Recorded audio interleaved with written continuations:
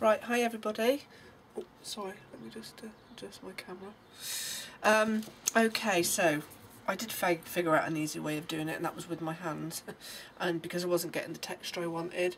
So if you look now it's got like a really, um, it's there's still needs to dry in a few places but it's got a, a, quite a, a, rough texture to it which is what I wanted.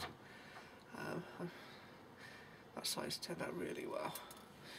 Um, I still got a few bits coming off, but I just need to uh, make sure that I can uh, get my little pots in there, which I'll have, probably have to just sand those back a little bit, which is not a problem. Um, so, what I aim to do now is to decorate it, and what I want to do is to add um, pearl chains going from these corners over to here.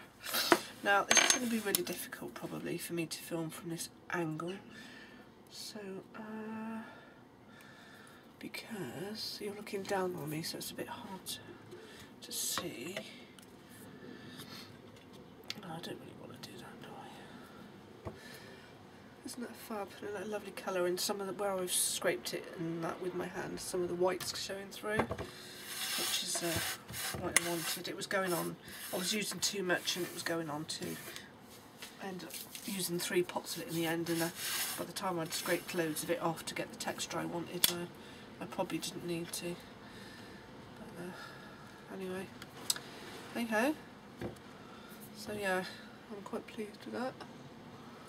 So, it's a lovely texture to it, it's very rough and looks better already, even, now, even though it hasn't been decorated. Right, I'm just going to pause here and then I'll be back in a minute. I'm going to go and get some embellishments and that and uh, see if I can change the angle of my camera so you can see better while I'm decorating it. Okay, so I'll be back in a moment. Bye.